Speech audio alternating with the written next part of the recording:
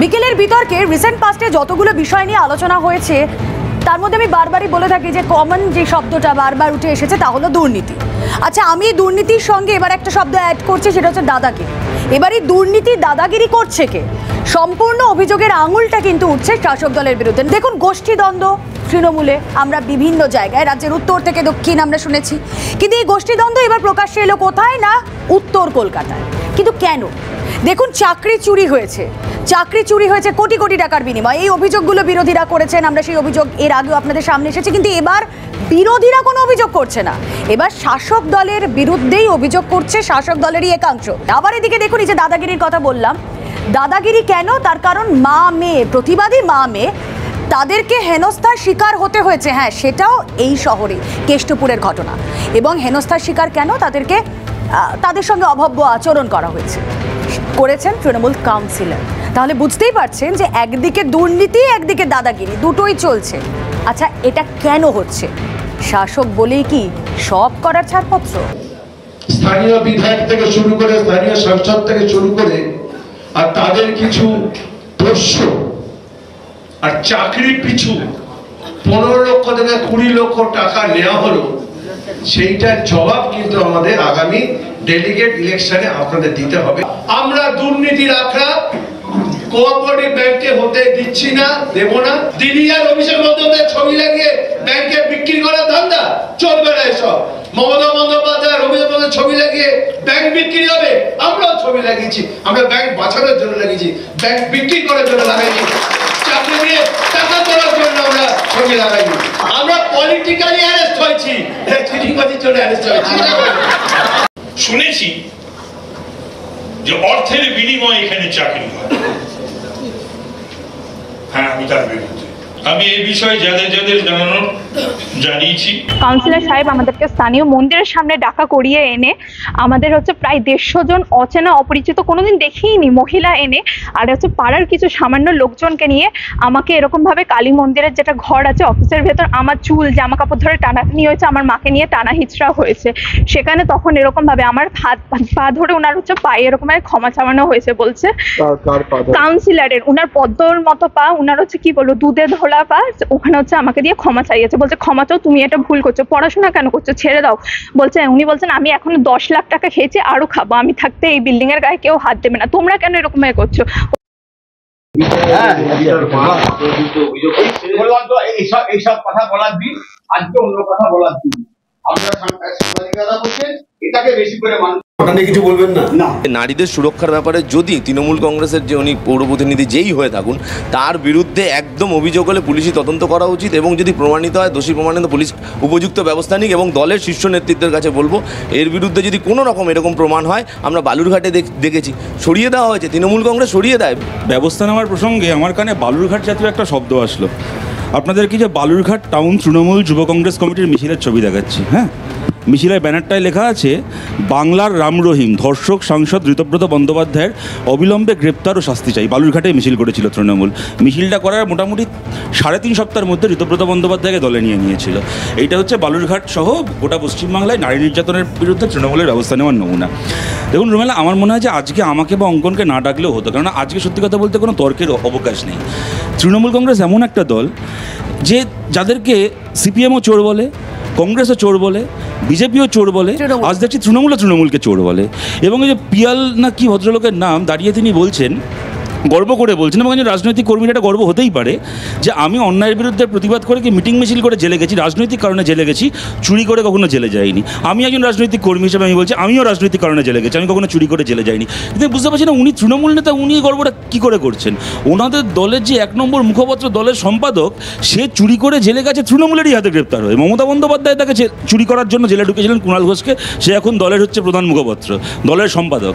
ও যেখানে দাঁড়িয়ে এই সভাটা হচ্ছে, উনি ওনারা দাঁড়িয়ে এই মিটিংটা করছেন সেখানকার সংসদ সুদীপ বন্দ্যোপাধ্যায় চুরি করে দীর্ঘদিন জেল খেটে এসে এখনও তৃণমূলের সংসদ হয়ে এবং জেল খেটে বেরিয়ে আবার তৃণমূলের টিকিট পেয়ে সংসদ হয়ে করছেন। আজকে যারা চুরি করে জেলে আছে অনুব্রত মণ্ডলদেরকে রাজ্যের মুখ্যমন্ত্রী মঞ্চে দাঁড়িয়ে বলেন হচ্ছে বীর এ হচ্ছে বীরভূমের বাঘ ইত্যাদি ইত্যাদি ইত্যাদি। সুতরাং একটা দল যে দল এটাকে একেবারে শিলমোহর লাগিয়ে দিয়েছে যে তুমি যদি সৎ হও স্টেপ নেয় স্টেপ হচ্ছে এইটা। প্রথমে যাকে চুরি করার দায় জেলে ঢোকায় তাকেই আবার জেল জেল থেকে বার করে এনে দলের প্রধান মুখপাত্র বানায় রাজ্য সম্পাদক বানায়। মহাসচিব পদ থেকে সরিয়ে দিয়েছেন।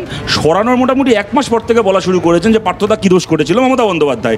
তেইশে জুলাই পার্থ চট্টোপাধ্যায় গ্রেপ্তার হয়েছিলেন। ছদিন পরে মহাসচিবের পদ থেকে সরানো হলো। তার পাঁচ সপ্তাহ পরে আঠাশে আগস্ট তার সেই বছরই বলে দিলেন যে পার্থ চট্টোপাধ্যায় কি দোষ করেছে? আমি তো আপনাকে দেখালাম আমি তো উদাহরণ দেখালাম। যে লোকটাকে বাংলার রাম রহিম ধর্ষক বলে মিছিল করেছিল সাড়ে তিন সপ্তাহের মাথায় তাকে নিজের দলে নিয়েছিল। এই হচ্ছে তৃণমূল কংগ্রেস। আমি বলছি তৃণমূল কংগ্রেসের চুরি করাটা কোনো অপরাধ কেন হবে? যে চুরি করে জেলে আছে তাকে যদি বলে যে বাল্মীকি হয়েছিল হয়েছিলেন সে তাতে কি আর এসে গেল? হ্যাঁ, সে তো ভালো হওয়ার পথটা তো ওপেন রাখতেই হবে শতরূপ। অঙ্কন। এদের এখানে সব বাল্মীকিরা রত্নাকর হয়ে যায় এদের দলে না গিয়ে। প্রথম কথা হচ্ছে হলো আমি মানে তৃণমূল কংগ্রেস থাকবে চুরি থাকবে না দুর্নীতি থাকবে না এটা হয়। এ- এতে পরিষ্কার এতে কোনো ব্যাপার নেই যে তাপস রায় যে কথাটা বলেছে উনিও আমাদের দলের একজন সিনিয়র নেতা। উনি যে অভিযোগটা করেছেন এবং বলার শেষে লাস্টে বলেছে যে আমি শুনেছি ওনার বক্তব্যটা শুনুন যে আমি শুনেছি এই ধরনের অভিযোগ আছে আমার যেখানে জানানো শীর্ষ নেতৃত্বকে জানিয়েছি এবং তারা আশ্বাস দিয়েছে ব্যবস্থা নেওয়া হবে। এবার সেখানে যদি মনে হয় যে আমি তো বলছি সেখানে কমপ্লেন করা মৃত্যুঞ্জয় এটা কি কাল হয়েছে যে আজ জানানো হবে না না পরশু পদক্ষেপ একটা নেওয়া হবে ইনফরমেশন তো কালকেও পেতে পারি। আপনিও তো এখনই একটা ইনফরমেশন এই মুহূর্তে পেতে পারেন। তো ইনফরমেশন পাওয়ার পরই তো সেটাকে বলা হয় একটা। আমি আমি আমি এই মুহূর্তে আমি বলছি। আমি এই মুহূর্তে ইনফরমেশন পেতে পারি যে কোথায় আগুন লেগেছে। হ্যাঁ, লক্ষ টাকা 15 লক্ষ পনেরো লক্ষ এটা টাকা একটা অভিযোগ। এটা একটা অভিযোগ। আরে ভাই, অভিযোগ, অভিযোগ প্রমাণিত নয় অভিযোগ- অভিযোগটা প্রমাণিত নয়, অভিযোগ-?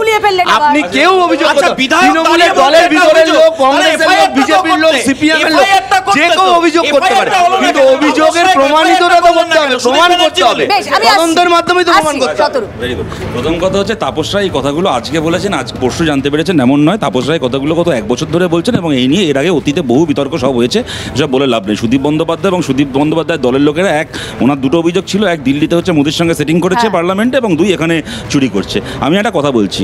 মৃত্যুঞ্জয় যে কথাটা এখানে বলল চেনামেচি শুরু করে দিও না। মৃত্যুঞ্জয় যে কথাটা এখানে বলল অমিত শাহ হচ্ছে খুনের জন্য খুন না হোক দাঙ্গায় দাঙ্গা সংগঠিত করার জন্য জেল খেটেছে কথাটা একদম সত্যি। তার সঙ্গে আমি আমি এটাও যোগ করছি এই দাঙ্গাটা যখন সংগঠিত হচ্ছিল তখন আমরা সিপিএম অমিত শাহ দলের বিরোধিতা ছিলাম মৃত্যুঞ্জয়ের নেত্রী অমিত শাহ দলের ক্যাবিনেটে মন্ত্রী ছিলেন সেটাও অন্য কথা। আমি এখানে একটা কথা বলছি। কথাটা হচ্ছে অমিত শাহর অভি- বিরুদ্ধে অভিযোগের সঙ্গে এই অভিযোগটা কিন্তু একটা তফাত আছে। অমিত শাহর বিরুদ্ধে অমিত শাহ দলের নিজের লোক কখনো অভিযোগ করেনি। অন্য আমরা বিরোধীরা করছি। তৃণমূল কংগ্রেসের সুদীপ বন্দ্যোপাধ্যায়ের নেতৃত্বে যে ওখানে চাকরি স্ক্যাম হচ্ছে, এটা আমরা বলছি না, এটা তৃণমূল কংগ্রেসের নিজের লোকেরা বলছে। এই গেল প্রথম কথা। দ্বিতীয় কথা হচ্ছে, কুণাল ঘোষকে আমি বলছি আপনাদের অনুব্রত মণ্ডলের গ্রেপ্তারিটা বিজেপির চক্রান্ত হতে পারে কি বিরোধীদের চক্রান্ত হতে পারে। তার পার্থ চট্টোপাধ্যায় থেকে শুরু করে বাকিদের গ্রেপ্তারিটা ইডি সিবিআইকে বিজেপির ব্যবহার করা হতে পারে। কুণাল ঘোষকে গ্রেপ্তার করা হয়েছিল মমতা বন্দ্যোপাধ্যায়ের পুলিশ করেছিলেন অর্পিতা ঘোষের করা এফআইআরের ভিত্তিতে। এটা কোনো কোনো বিরোধী চক্রান্ত হতে পারে না। আজকে আমাদেরকে বারবার এই জায়গাটাতে ঘুরে এসে দাঁড়াতেই হবে। আমি যে কারণে বললাম আমি একটু বলে অঙ্কন হ্যাঁ আমি শেষ করে আমি তো তোমার আসুন, ইন্টারাপ্ট করিনি ভাই ওদিক থেকে ইন্টারাপ্ট করছিল। অঙ্কনকে বা আমাকে আজকে না ডাকলেও চলতো আমি কথাটা এই কারণে বলছি তৃণমূল কত বড় চোর এটা তাপস রায়দের প্রতিনিধি হিসেবে এখানে মৃত্যুঞ্জয় দাঁড়িয়ে বলে দিতে পারবে। এর জন্য আমাদেরকে দরকার তুমি বলে দাও তো ভাই কোথায় কোথায় টাকা হয়? তৃণমূল? সিপিএম মানে যারা প্রত্যেকটি পার্টি অফিস থেকে মানে চাকরি চুরি করেছে সমস্ত জায়গায় দুর্নীতি করেছে খুন আর চুরির ব্যাপারে সিপিএম ভালো জানে আমাদের এসব বলে লাভ নেই? এবার আমরা আমরা পরিষ্কার বলছি যে এই যে তাপস রায় আপনি- বিরুদ্ধে কিছু বলছেন না, বলছেন তৃণমূলের বিরুদ্ধে। হ্যাঁ, বল-? আর তাপস রায় তৃণমূলের বিরুদ্ধে বলেনি তাপস রায় বলেছে যে এখানে একটা খবর পেয়ে সুদীপ ব্যানার্জির খবর নয় আমি ব্যানার্জি। শীর্ষ কারোর নাম নেয়নি তাপস রায়। আবার বাইকটা চালাতে কি অদ্ভুত কথা? কাকে একবারও কারও কথা বলেন স্থানীয় একদম আমি। হ্যাঁ পিয়াল হ্যাঁ, দিনে দাঁড়িয়ে। একদম পিয়াল ব্যানার্জি বলেছেন। সেখানে দাঁড়িয়ে আমরা পরিষ্কার। হ্যাঁ স্থান- আমি পরিষ্কার বলছি তো আমি নই, যদি এখানে হয় শীর্ষ নেতৃত্বের কাছে তো যাচ্ছে ব্যাপারটা। মৃত্যুঞ্জয় ঠিক যেটা বলে শুরু করেছিলাম শাসক হলেই কি দাদাগিরি দুর্নীতি ছাড়পত্র পাওয়া যায়? একদমই নয়? একদমই নয় একদমই নয়। আমি তো বলছি যদি এই এই মেসেজটাই আমাদের দর্শকদের কাছে যায় শাসক দলের মুখপাত্রের থেকে একদম নয়। ঠিক আছে হ্যাঁ। আমি একটা কথা বলছি। এই যে দলের শীর্ষ নেত্রীকে জানিয়েছেন তাপস রায় যেটা মৃত্যুঞ্জয় বলছে পরশু দিনে জানিয়ে থাকতে পারেন ওনার আগেও হয়ে থাকতে পারে আমি একটা কথা বলছি। ওনার দলের শীর্ষ নেতৃত্বকে অভিযোগ জানানোর পরে কি হয়? এটা উদাহরণ দিই। মানিক ভট্টাচার্য টেটে স্ক্যাম করেছেন এই অভিযোগটা টেটে প্রতারিত ছেলেমেয়েরা মমতা বন্দ্যোপাধ্যায়কে চিঠি লিখে জানিয়েছিলেন যে দিদি এক সেকেন্ড আমাদের কারুর ওপর ভরসা নেই কিন্তু আপনাকে বিশ্বাস করি আপনি এর বিহিত করুন। মানিক ভট্টাচার্য আমাদের সাথে এই করেছে। পরে যখন মানিক ভট্টাচার্যের বাড়ির সার্চ হচ্ছে এক বছর পরে ইডি সার্চ করছে তখন মমতা ব্যানার্জিকে লেখা ওই চিঠি মানিক ভট্টাচার্যের বাড়ি থেকে উদ্ধার হলো। এই হচ্ছে মমতা ব্যানার্জির ব্যবস্থা নেওয়ার